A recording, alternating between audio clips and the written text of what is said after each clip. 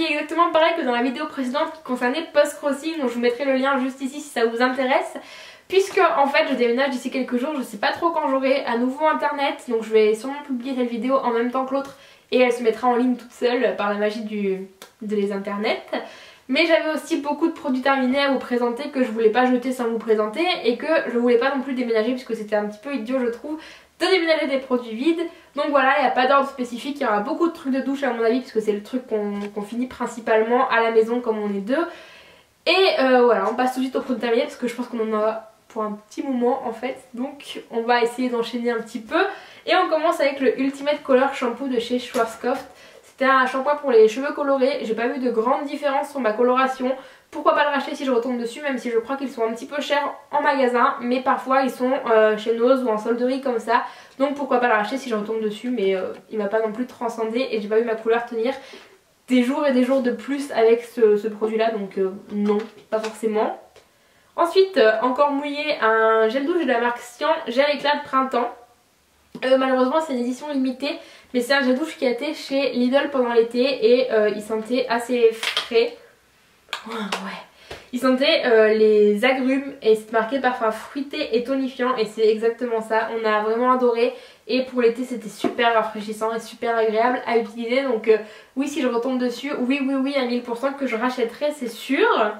Ensuite un shampoing nutrition intense aux deux huiles de karité et d'argan de chez Le Petit Marseillais. C'est une marque que moi j'affectionne beaucoup pour les gels douche et les shampoings. Euh, celui-ci c'était pour cheveux secs, très frisés, euh, donc ça devait être pour mon copain je pense. Il fait un peu des, crises de cheveux secs en fait quand il a les cheveux frisés et assez longs. Et euh, je pense que ça lui, avait, ça lui avait tout à fait convenu, sinon il m'aurait dit que c'était nul et qu'il ne l'aimait pas mais quand il me dit rien c'est vrai qu'en général c'est que ça lui convient plutôt donc pourquoi pas racheter également si je retombe dessus. Un autre produit qui est presque fini, j'en ai pour une utilisation à mon avis, c'est le masque à l'argile jaune pour Pomix de chez Argilès Laboratoire qui est une marque de produits bio. Donc on retrouve ce produit en magasin bio. Moi je l'avais acheté pour 5 ou 6 euros je pense. Et euh, il m'a duré quand même beaucoup beaucoup beaucoup de fois. À vrai dire je le fais une fois par semaine et euh, ça améliore ma peau vraiment les, jours suivants. C'est impressionnant. Donc euh, c'est un masque à mettre en couche assez fine. On laisse pas trop sécher. On laisse je dirais poser 5 minutes parce que si c'est trop sec, l'argile c'est pas bon et ça, ça tire la peau. Et une fois qu'on a laissé poser 5 minutes, on retire. Moi je le faisais avec une éponge congelac et c'était très très bien. Donc euh, voilà, je rachèterai ce masque à coup sûr aussi. Euh, encore mouillé et un peu cassé, dégueulasse. Soit, il sort juste de la douche en fait. Euh, c'est le Intima Gel Intime de toilette intime, donc pour nettoyer... Voilà. Et euh, je l'avais eu en lot de 2 ou de 3 je crois au Leclerc et euh, non je rachèterai pas forcément celui-ci. Je pense que la marque Carrefour et tout c'est un peu pareil euh, donc pas forcément celui-ci. Mais oui je rachèterai des gels intimes bien sûr. Il faut être propre. toujours mouillé un ultra doux de chez Garnier à l'extrait de tilleul apporte cheveux... Non il apporte pas des cheveux normaux. Il apporte douceur et brillance, c'est pour cheveux normaux, euh, pareil je l'ai bien aimé, euh, je l'ai acheté pour le sport parce que j'aime bien l'odeur, je trouvais assez fraîche et je trouve que c'était agréable à utiliser après le sport. Et les ultra doux sont euh, sans parabènes et sans silicone. Silicone Décidément c'est un petit peu compliqué cette vidéo quand même, deux vidéos à la suite c'est compliqué, hein, on n'y arrive pas. Donc ils sont sans parabènes et sans silicone et moi je les rachète à coup sûr, surtout celui-ci je l'aime beaucoup. Un petit produit bébé euh, fait des lèvres de chez Lush. Donc je crois que celui-ci il sort que au période de Noël. Vous savez c'est le gommage euh, le gommage rose qui sent le, le bonbon. Et euh, je l'avais pour Noël, il m'a duré jusqu'à il y a 2 ou 3 semaines donc c'est un bon investissement. Je crois que ça coûte autour de 10-11 euros et oui je vais en racheter un et peut-être même que je vais attendre les périodes de fête pour pouvoir me racheter exactement celui-ci parce que je l'avais adoré l'odeur. Ça sentait vraiment trop trop bon. Un petit gel douche maintenant de chez The Body Shop, c'était le Japanese Cherry Blossom. Euh, non, je rachèterai pas. Je vais garder le contenant pour euh, partir à la salle de sport puisqu'il se dévisse et que c'est facile à remplir.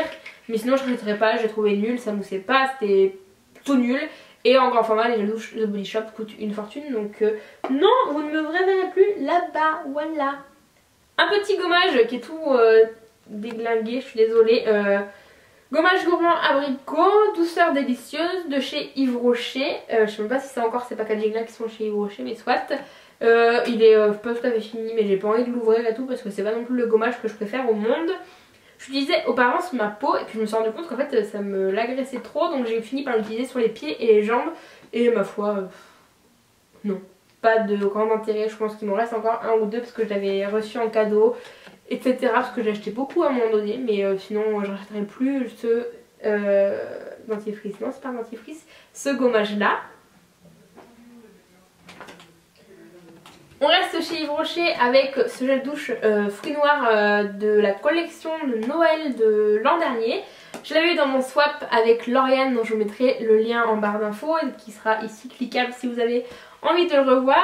Euh, j'adorais l'odeur mais alors vraiment ça c'était une odeur qui sentait vraiment trop trop bon. Et il me reste la crème pour les mains que euh, j'ai retrouvé en déménageant hein. donc euh, je suis très contente et je vais pouvoir l'utiliser l'hiver. Mais c'est vrai que cette odeur là était géniale. Et malheureusement les brochets ne refont presque jamais les mêmes collections. C'est très dommage puisque sinon je me serais jetée sur ce gel douche là que j'adorais vivement. Un petit parfum euh, Treasure in Love qui a perdu son bouchon dans le sac. Le voici. Voilà donc voilà il est rose normalement je l'avais eu il y a très longtemps et je le mets bien, vraiment, mais euh, j'ai pas acheté celui-ci. Mon amoureux m'en a offert un autre que j'aime beaucoup plus. Et du coup maintenant je tourne avec le euh, Balenciaga euh, Flora Botanica et avec le The One de Dolce Gabbana que j'avais eu en cadeau par mon patron des fêtes de Noël il y a deux ans maintenant je crois. Et que j'adore vraiment surtout quand l'hiver arrive comme ceci. Un petit concealer de chez Kiko comme ça qui devait qui est la teinte numéro 1. C'est un embout mousse gloss comme ça. Euh, oui, je l'ai racheté une fois, mais à vrai dire, je préfère mille fois les anti de chez Collection. Donc je pense que quand euh, j'aurai fini mon nouveau Kiko, je vais euh, demander à une copine qui vit en Grande-Bretagne de me l'envoyer puisque puisque je suis accro aux collections donc je lui passerai des sous pour qu'elle m'en achète 5 ou 6 histoire d'avoir du stock tu vois. Parce que je compte pas retourner à Londres tout de suite malheureusement hein. Sauf si le mec quelqu'un veut m'offrir le voyage, y'a pas de souci. Un petit euh, format voyage comme ça de chez euh, Wish qui est un body butter à l'amande que j'avais eu dans la Birchbox euh, quand j'étais abonnée. Et je me suis abonnée que deux mois donc c'était pas, enfin, pas très très long mais c'était il y a déjà un an, non. Je rachèterai jamais, au grand jamais ce produit. En fait, je déteste l'amande. Non, je rachèterai pas. J'aime l'amande à manger en croque-croque ou en amande effilée. Mais j'aime pas la poudre d'amande dans les gâteaux. J'aime pas la frangipane, tout ça. Et je déteste cette odeur. Euh, moi, ça me rappelle l'odeur de punaise en fait. Donc, euh, j'ai pas trop envie d'avoir l'odeur de punaise sur mon body, tu vois. Donc, non, je ne rachèterai pas. Un échantillon de la euh, Stay Don't Tray de chez Benefit. C'est une base à paupières. Pareil avec un embout gloss comme ça, j'avais eu dans un kit que ma soeur m'avait offert à Noël il y a deux ans également. J'avais plutôt aimé, même si j'ai celle de NYX pour le moment et que je préfère mille fois celle de NYX en fait. Donc euh, je sais pas trop comment je vais faire une fois que ça existera, enfin une fois que j'aurai fini puisque c'est un peu compliqué d'en trouver en France. Mais on verra bien, hein une douche crème de soin de chez Le Petit Marseillais, je vous avais dit que j'aimais beaucoup cette marque, c'était au beurre de cacao et au sésame. C'était aussi pour mon chèque à la peau et les cheveux très très secs et euh, je l'ai utilisé en fait et j'adore. Donc euh, si je retombe dessus, même euh, je crois que c'est même pas si je retombe dessus, c'est que dès que j'ai fini un gel douche, je vais racheter celui-ci parce que j'ai encore un petit stock. Hein. Mais euh, vraiment je, veux celui-ci encore, ils sont trop bons et c'est trop bien. Et voilà, je veux, je veux, je veux. Une petite crème pour les mains de chez L'Occitane, donc P1 Flora que euh, j'ai presque pas utilisé mais en fait elle a tourné et elle sent vraiment pas bon maintenant donc je préfère la jeter c'est que les mains et c'est pas très très grave mais bon j'en ai beaucoup d'autres donc je préfère la jeter mais euh, les crèmes L'Occitane sont plutôt pas mal en général. Un échantillon de la Big Easy de chez Benefit donc c'est vous savez la crème qui se présente comme ceci. Et euh, en fait je l'avais mis là-dedans parce que je me rappelle que j'avais adoré l'effet sur ma peau vraiment je trouve ça trop trop trop joli. Malheureusement je ne sais pas parce que ça coûte trop cher pour moi en fait. Euh, mais euh, si j'ai une carte cadeau ou un jour euh, des vraiment un code promo intéressant, pourquoi pas la racheter puisque j'avais vraiment adoré mais je crois qu'elle coûte 32 euros. Et 32 euros pour une bébé crème, non ça va pas trop être possible en fait. Je crois que mon banquier va pas vouloir. Voilà, moi je veux bien mais mon banquier non. Je suis désolée s'il me penche en fait j'ai mis les produits sur le lit à côté et c'est pas très pratique mais je sais jamais trop comment faire ces produits terminés alors voilà. Euh, trois petits vernis de chez Claire, que je jette. Euh, celui-ci est presque terminé, on peut plus en. Et ceux-ci ont séché. Lui c'était un bordeaux, c'était le plus beau bordeaux que j'avais jamais vu. C'était euh, vraiment le dupe du rouge noir de chez Chanel. Malheureusement il n'existe plus. Enfin c'est plus les mêmes vernis et c'est plus la même couleur. Un petit bleu layette comme ça que j'ai presque jamais mis mais en fait je sais pas trop pourquoi je l'avais acheté parce que je trouve vraiment pas très beau cette couleur. Et un euh, mat violet, euh, pareil c'est un très moche mat je trouve euh, vraiment il, faisait sale, il rendait pas très très beau. Donc je ne le rachèterai pas non plus. Un dentifrice, puisque nous sommes des gens qui se brossent les dents, donc c'est de chez Elmex Sensitif Professionnel. Oui je le rachèterai, pour l'instant j'ai des... Bon, là j'en ai un qui est fini en fait, qui est parti à la poubelle qui doit être un signal blancheur extrême, je sais pas quoi, qui était bien mais que je, j'apprécie pas plus que ça. Vraiment les Elmex c'est mes dentifrices préférés et oui oui oui je rachète mille fois. Ensuite un petit euh, body milk comme ça, l'écor hydratant euh, à coconut et mon oeil, donc euh, notre coco et mon oeil de chez Chapter. J'ai beaucoup aimé, il est pas fini comme vous pouvez voir parce que la doigt a également tourné parce qu'en fait c'était un peu un peu compliqué parce que c'était un gros truc comme ça. Bon ils sont plus du tout bons. Euh, c'était un gros truc comme ça et ça coulait pas comme il faut donc ça m'a un peu agacé. Je l'ai laissé en décoration et maintenant euh, j'ai décidé de le jeter parce que voilà. Et euh, je ne rachèterai pas parce que c'était chez la marque et chez Douglas et que Douglas a arrêté. Et que même aux Pays-Bas où Douglas est encore le magasin de, beauté, j'ai pas trouvé cette marque. Donc j'avais un peu les bouloches et j'étais très triste. Alors voilà, c'est pas grave. Une marque de Yes2, euh, qui est une marque qu'on entendait beaucoup parler, qu'on avait beaucoup en solde. Et euh, je sais pas, au dernier solde, j'ai l'impression que je l'ai pas vu chez Sephora. Mais en tout cas, c'est une marque plutôt pas mal, puisque là, c'était 98% euh, d'origine naturelle. pareil, elle a utilisé la moitié, mais aussi elle a tourné, parce qu'avant, je m'hydratais pas la peau assez souvent, mais elle était pas mal. Bon là, elle pue, mais avant, elle sentait plutôt plutôt bon, j'ai envie de dire. Et non, elle faisait pas la peau orange bien que c'est de la crème à la carotte. Un shampoing sec de chez Baptiste, aïe, qui vient de m'attaquer. Euh, c'était le Dark Brunette que euh, j'aime beaucoup, même si... En fait, si je, si je, passais ma main dans les cheveux après, ça me faisait des crasses noires sur les doigts, c'était un peu dégueu. Mais euh, c'est quand même plus simple le shampoing sec blanc à enlever. Donc euh, oui, je pense que je rachèterai celui-ci. Mais euh, ça m'agace parce que ça coûte trop cher. Et en plus, euh, j'essaie d'utiliser un peu moins de shampoing sec puisque j'essaie de laisser mes cheveux un peu faire leur vie. je vous ferai ça dans une autre vidéo, mais j'essaie de me débarrasser du fait que je me lavais les cheveux tous les jours et que j'avais les cheveux gras qui régressaient en... Les cheveux gras qui régressaient, les cheveux gras oui. Et ils régressaient en une nuit, donc voilà, c'était pas très terrible. Et du coup voilà, j'essaye de, leur laisser un peu faire leur vie. C'est compliqué cette vidéo, je suis désolée, j'espère que ça sera pas trop pénible à regarder pour vous. Un petit, euh, une petite crème pour les yeux euh, de euh, la marque Balance Me que j'avais eu aussi dans la Birchbox. Alors là par contre c'était un vrai vrai coup de cœur. Le petit 7 ml m'a fait une éternité vraiment. J'ai pas coupé le pot parce que j'ai un peu oublié, j'en ai acheté un autre entre temps euh, maintenant ça a dû tourner donc euh, je vais pas le faire maintenant mais euh, je voudrais tellement acheter mais je crois que le produit coûte 25 euros sur le site de Birchbox. Mais pourquoi pas, je veux dire le 7 ml m'a duré peut-être 8 mois je pense, 8 ou 10 mois. Donc je me dis que le grand est un investissement certes mais un investissement sur le long terme. Donc pourquoi pas spray protecteur de chaleur de chez Tresemme euh, que j'avais acheté en Grande-Bretagne, donc c'était enfin à Londres. Donc c'était il y a plus de deux ans hein, maintenant.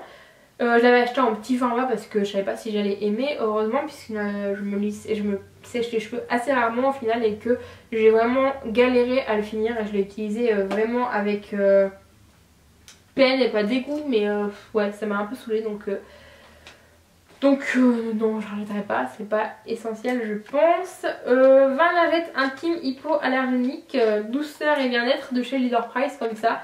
Donc ça c'est pour quand je vais au sport et quand j'ai mes ragnagnas. Et oui je rachèterai à coup sûr. Je pense que c'est pas la peine de mettre plusieurs lingettes puisque celles-ci sont très très bien et que euh, j'ai adoré tout simplement.